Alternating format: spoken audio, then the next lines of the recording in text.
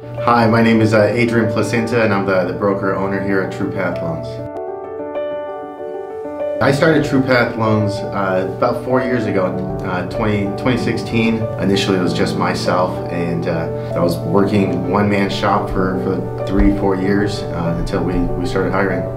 I'm uh, originally from Romania, Eastern Europe, but I grew up in California, Orange County, and been here my whole life. My favorite hobbies when I'm not closing loans is hanging out with my kids and uh, watching football to give me the opportunity. My favorite part about TruePath Loans is being connected with the clients. We deal with clients in a, a really emotional stage when they're, they're buying a house or they're, they're going through a big refinance or purchase and just, uh, just turning clients into friends. And it's been a real uh, blessing here at TruePath.